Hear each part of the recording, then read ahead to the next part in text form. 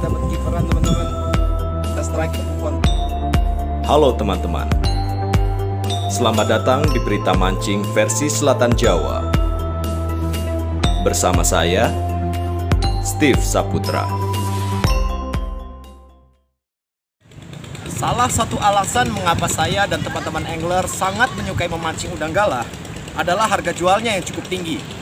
Masalahnya, tingkat kesegaran daging udang sangat cepat menurun. Meski sudah menggunakan es batu, tetapi daya simpan udang hanya bisa bertahan kurang lebih sekitar dua hari. Dan melalui tayangan kali ini, kami akan menunjukkan cara menyimpan udang agar kesegarannya bisa awet hingga berminggu-minggu. Selengkapnya dalam tayangan Ikan Jadi Uang.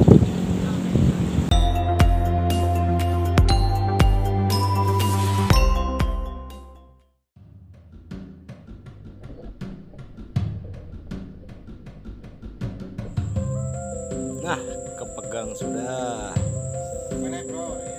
Oke, mantap. Kasih lihat mas bro. Kasih lihat mas bro. Ini yang namanya udang kalah teman-teman. Halo teman-teman.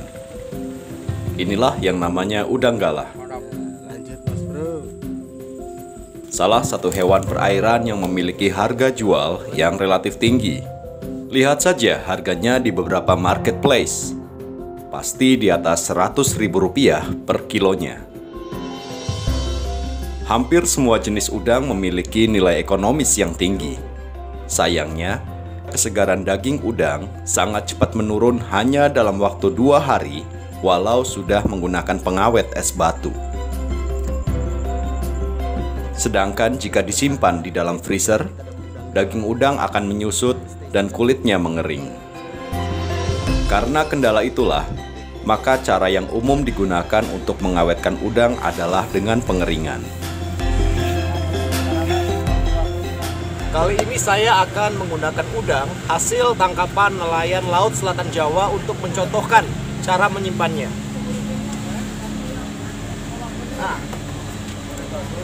udangnya seperti ini teman-teman. Kita simak urutannya teman-teman. Seperti apa cara menyimpan udang ini agar awet hingga berminggu-minggu lamanya. Langkah pertama yang harus teman-teman lakukan saat akan menyimpan udang adalah merendamnya dengan air bersih. Cara ini bertujuan agar kulit udang bersih dari sisa-sisa lumpur dan alga yang masih melekat. Udang yang sudah bersih selanjutnya ditimbang sesuai dengan takaran yang sudah teman-teman inginkan. Pada video ini, kami menakar seberat 1 kg. Teman-teman bisa saja membuat takaran 250 gram atau 500 gram agar lebih mudah menjualnya dengan harga yang lebih murah. Langkah selanjutnya adalah memasukkan udang ke dalam wadah penyimpanan. Biasanya, kami menggunakan botol air minum kemasan 1,5 liter untuk menampung 1 kg udang. Setelah udang tertampung seluruhnya, isi botol dengan air bersih hingga penuh. Lalu tutup rapat. Langkah terakhir adalah menyimpannya di dalam freezer hingga membeku. Cukup mudah, bukan? Jika sudah tersimpan dalam kondisi membeku seperti ini, teman-teman bisa menjual udang kapan saja. Kondisi daging udang juga dijamin tetap segar dan kenyal, meski sudah disimpan hingga berminggu-minggu. Selamat mencoba, teman-teman, dan semoga sukses berjualan udang segar. Sekian tayangan ikan jadi uang versi berita mancing. Saya Steve Saputra.